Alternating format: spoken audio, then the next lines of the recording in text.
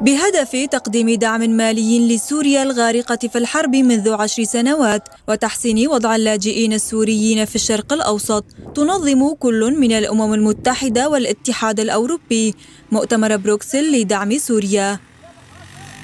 مؤتمر بروكسل لدعم سوريا بنسخته الخامسة الذي يعقد الاثنين يشارك فيه نحو ثمانين وفدا من خمسين دولة بالإضافة لمنظمات غير حكومية ومؤسسات مالية دولية ووكالات الأمم المتحدة.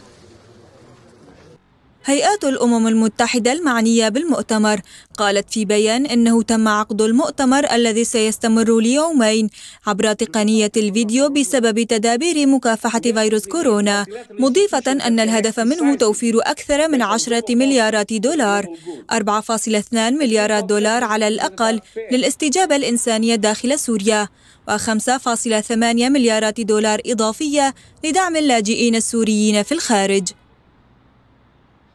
من جهتها أوضحت مفوضية الاتحاد الأوروبي أن مؤتمرات بروكسل كانت فرصة لإعادة تأكيد دعم المجتمع الدولي المستمر للأمم المتحدة. وجهود مبعوثها الخاص للتوصل إلى حل سياسي للأزمة السورية بما ينسجم مع قرار مجلس الأمن 2254 مشيرة إلى وجود التزامات تقدر ب 7.7 مليارات دولار. ساهم الاتحاد الأوروبي بثلثي هذا المبلغ.